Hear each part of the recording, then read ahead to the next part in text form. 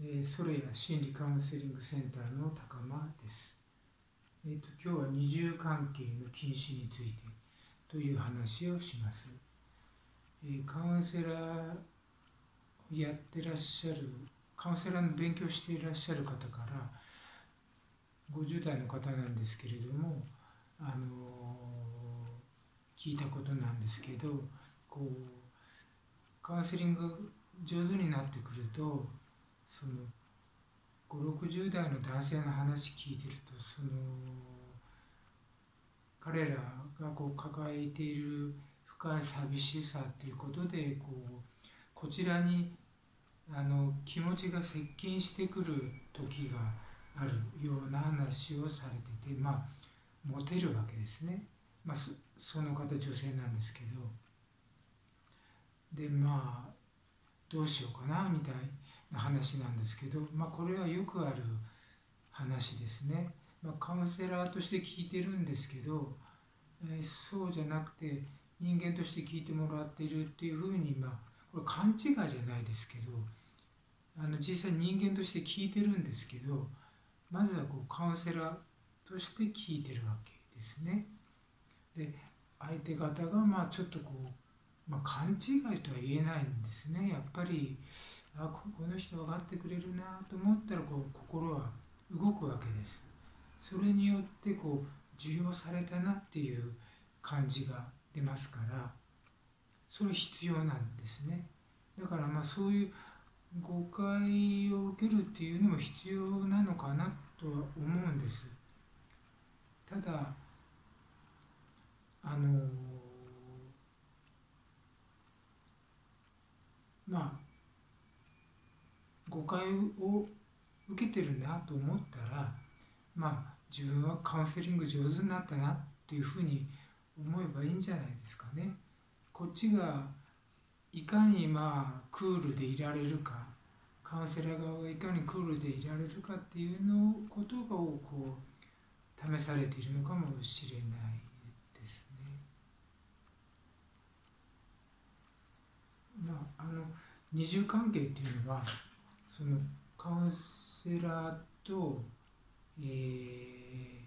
相談者の方の関係が二重にならないようにということで要はカウンセラーと相談者のこの関係をキープしなさいということなんですね。ですからこう友達関係にはなるなという話でなんか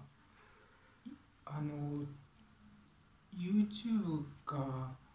テキストで書いた覚えがあるんですけどあのまあ例えばこう相談者の方がお土産持ってくるんですよね。どこどこ旅行行きましたからどうぞって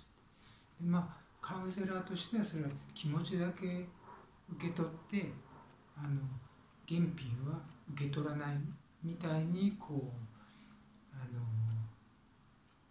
教えられるわけですね。で私も当初はそれやってたんですけれどもあまりにもちょっと杓子定規みたいなあの悪いなと思いながら断ってるわけですね。でまあある時から、まあ、全部いただくことにしたんですけれどもそそれで関係がまああの教科書的に言うと二重関係だと思うんですあそうだそうだ。高間先生と高間さんの話でなんか書きましたね。この間ですね。なんかもうすっかり忘れちゃって昨日書いたことあんまり覚えてないんですよね。ただ相談者の方の話だけはなんかこう残っててなんか他のことはすっかり忘れてまあそういうこう二重関係にまあ二重関係なんですけど要は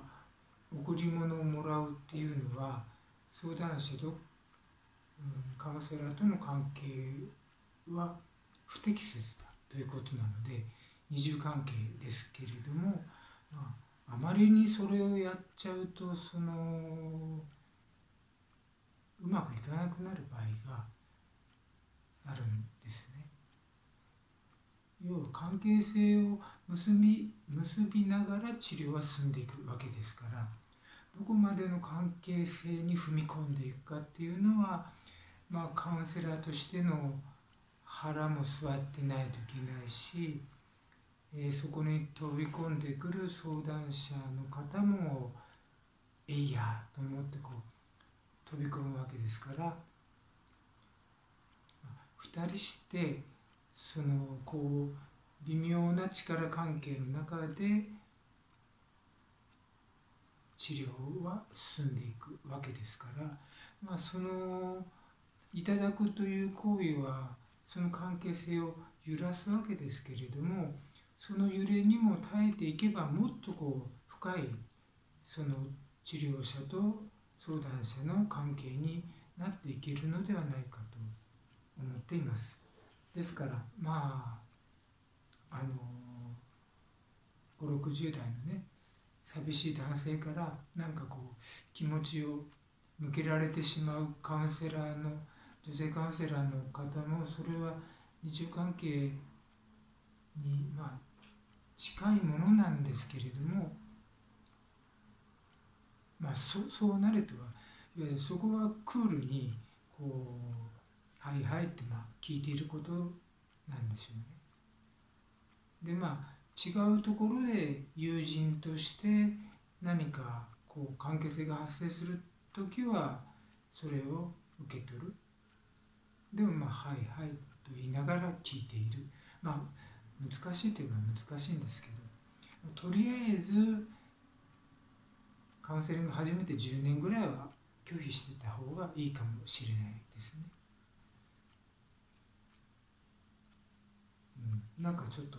話が、えー、あっち行ったりこっち行ったりしましたけれど今日は二重関係の禁止についてでした。それや心理カウンセリングセンターの高間でした。